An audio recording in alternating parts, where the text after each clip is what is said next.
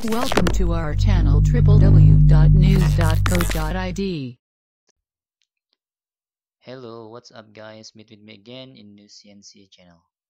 Okay, in this tutorial, uh, I will show a simple way how to uninstall completely torrent using uh, two methods.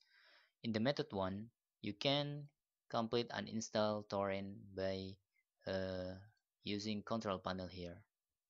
Okay, you can see you can uninstall using this. But uh, I will recommend you will using or you are using powerful uninstall by IObit uninstaller. Because if you using uh, IObit uninstaller you will uh, you will uh, very satisfied because uh, completely file will remove in your computers you can open Google uh, and type keyword IObit uninstaller to uh, install this software okay? Now after you install IObit uninstaller you will uh, found in the control panel powerful uninstall menu here. And then you can just click your torrent and then power, powerful uninstall okay? In this case I'm using Windows 10 so uh, how uh, power un uh, IObit uninstaller can do this?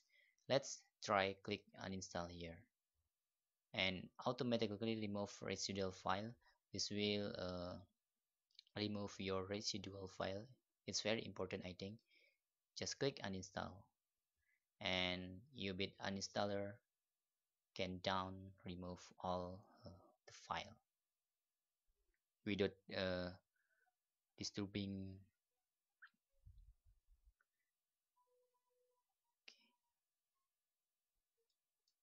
okay. I will close it later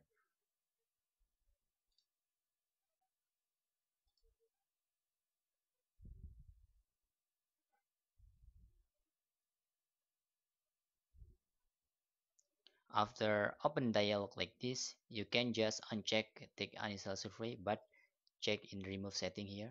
Click ok. You can see uh, uninstall is completed. Now I will close this and check if uh, the torrent not in the program anymore. Okay you can see here.